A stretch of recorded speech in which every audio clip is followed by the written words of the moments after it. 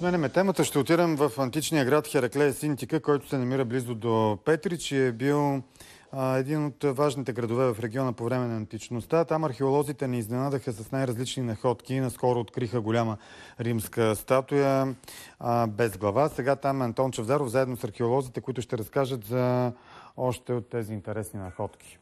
Към Антон, добро утро! Здравейте от античния град Хераклея Синтика край Петричкото село Рупите. Тук през годините, 11 години вече поред се извършват археологическите разкопки. През годините, заради безпаричието, често а, разкопките така се случват бавно, но през май месец правителството отпусна 100 000 лева и в последния ден на, на дейностите, които бяха позволени в рамките на тези 100 000 лева, беше открита тази статуя. Виждате колко внушителна наистина изглежда изключително впечатляващо откритие на археолозите. Ще разговаряме сега с ръководителя на обекта, доцент Людмил Вагалински. Доцент Вагалински, какво се знае за тази статуя? Знае ли се вече кой изобразява? Ами без главата не можем да бъдем окончателно сигурни. Би могло да бъде дори римски император. Има а, такива белези като качество на изработката, като иконография. Би могло да бъде и важен първенец на града. Дори спрягам името на един от тях, който е известен от два надписа, казва се Тиберия и Клауди Бахи. Но дано да намериме а, главата. Къде я открихте? Как я намерихте?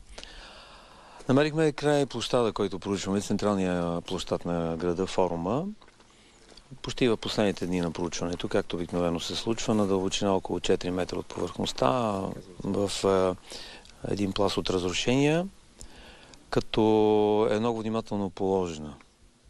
Очевидно гражданите на Хераклея са отнасяли с голямо уважение към човека, който е представен на тази скулптура.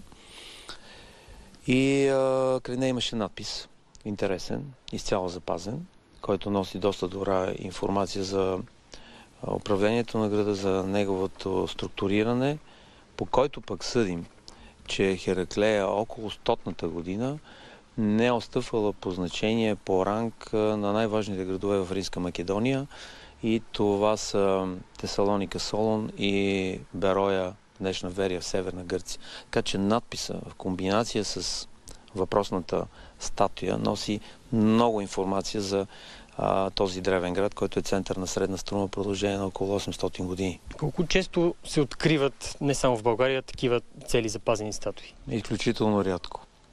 Смея да твърда, че в България ние от този тип, казва се Тогатус, мъж с тога и с такова качество и с този размер, тя е над човешки ръст, нямаме България.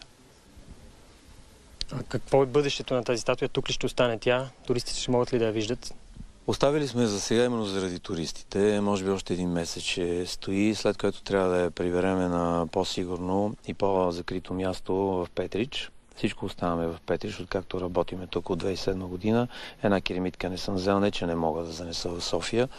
Идеята е да има за общината, за българския югозапад, за местните хора и те много се гордеят. Какво още можем да очакваме от Хераклея Синтика тук? Могат ли да продължат разкопките и какво така очаквате да намерите още? Ами мога да продължа, стига да имаме финансиране. Екипа ми работи много успешно. Много активна медийна кампания провеждаме. От 3 месеца сме създали една с екипа ми електронна платформа, медийна платформа, археология Българика се казва, с YouTube канал, с Facebook страница и резултатът е видим. Страшно много туристи идват. Имаме последните месеци, тук 2-3 месеца, по 200 туристи на ден. А, такава посещаемост е, само може да ни радва. Местните хора са също много впечатлени. А, разбирам, че и правителството е много доволно. И имам така сигнали, а, информация, включително от министра на културата Бил Обамов, който също много ни помага за а, допълнително финансиране от а, правителството, с което ще можем да работим още един месец в рамките на тази година и да отметеме много работа. Много работа, а нагоре по склона продължава ли града? Натам може ли да се копае? Продължава. Южният склон на Кожух е изцяло заед от града. Правили сме изследвания, има много архитектура и информация, но се опитваме да не се разпиляваме. Средочили сме се в подножието на хълма заради централния площад. на Хераклея Синтика форума, защото е удобен за посещение и е важен за туристите. Така че това, което ни предстои е да разкриеме останалата част от площада с хубавата архитектура, колонии, капители, дай Боже, още а, статуи. Главата на статуята би било добре да намерим, за да бъдем тогава сигурни, еднозначни, че тя принадлежи примерно на римски император или на магистрадата Тиберий Клауди Бахи. Това е един важен първенец на града, за който има информация вече от два надписа. Втория е този пълния, за който ви казах. Тоест, спокойно можем да кажем, че най-доброто тук предстои, нали така? Със сигурност. А, града е идеално запазен. Няма над него съвременен град, който да го затиска. Много е а, достъпен. А, все пак сме на магистрала Струма. В рамките на комплекса Ванга, всъщност комплекса Ванга е върху територията на града. И това го прави обречен на туристически успех, какъвто той всъщност вече има. Остава да се направи пътя, не е добър. Това затруднява туристите, въпреки това те идват. Имаме така уверение от а, пътна агенция и от кметън а, господин Бръшков, че до края на годината ще има един нормален асфалтиран път. Колко, може би за да завършим това, колко туристи годишно посещават тук обекта?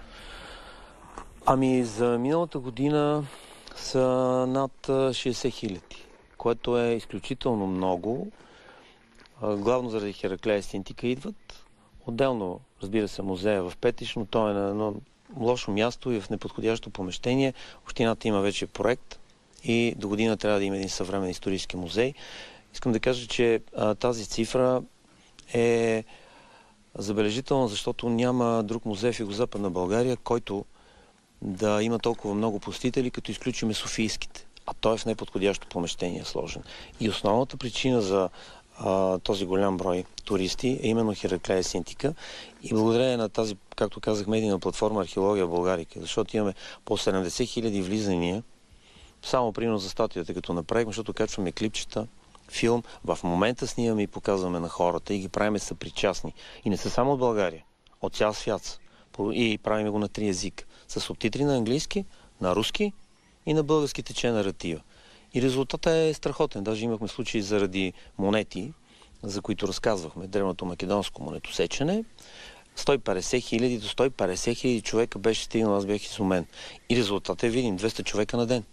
На Хераклея. Пожелавам ви успех от тук на сетне. Ще продължим, разбира се, да следим какво ще открият археолозите тук в древния град Хераклея Синтика. Благодаря ти, Антон, че